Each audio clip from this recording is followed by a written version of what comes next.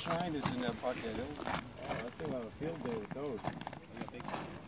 We used to fish up in Maine, and we, the eagles were nesting.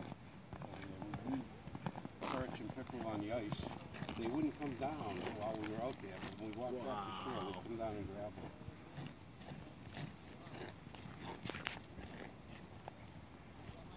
There's also a, a nesting pair on Webster Lake